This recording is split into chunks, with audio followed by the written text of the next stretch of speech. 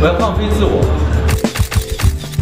其实所谓如实呈现，啊、尤其在你们的这个呃行业里，其实是很难的一件事。因为现在大家讲人设，嗯 所谓人设就是说我我设计了呈现，是吧？嗯它不完全是如如实，因为确实是有很多，尤其是我觉得有一些公众人物他自己内心的心路的历程，他很难完全向外界真正展开。嗯。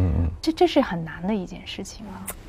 其实你知道吗？如实呈现这个东西，它不是说你单一和纯粹，是你所有的每一面。其实我看到了、觉察到的时候，都觉得非常的好笑。嗯嗯，它没有对和错，也没有高级和低级，就是它就是这样。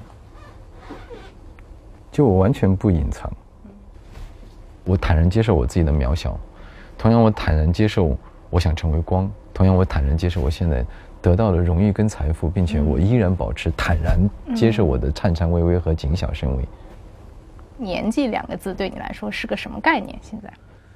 我就是有点反抗我生活中年纪的人，嗯，呃，大家说我要装老妖精嘛，对我也无所谓，其实 我是演员嘛，就是我想尝试，我依然到现在还是全方位想感受一切，嗯，那除了你非要让我演十五六岁，这个我还是会拒绝啊，啊，十八二十岁还是要拒绝，因为更合适他们的人，因为单一演二十多岁，不是我不自信，是我怕大家恶心我，倒是没有问题。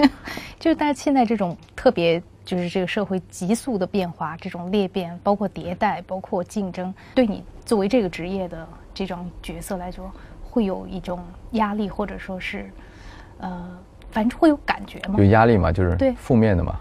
没有，嗯你知道吗？终于轮到我活到质感的年纪了。嗯小楠姐，你你真的不知道，我说这句话的时候，是是发自内心在笑。我终于解决了小时候想要去质感，别人认为我是装的。我终于到了自然而然，别人觉得四十岁会自然有质感的年纪了。嗯你知道，就好像不费劲儿。质感是装不出来的，对。对，因为确实这个年轮在你身上磨了四十多遍，你 对，你自然而然就会有一种时光留下来的质感的味道了，真没办法。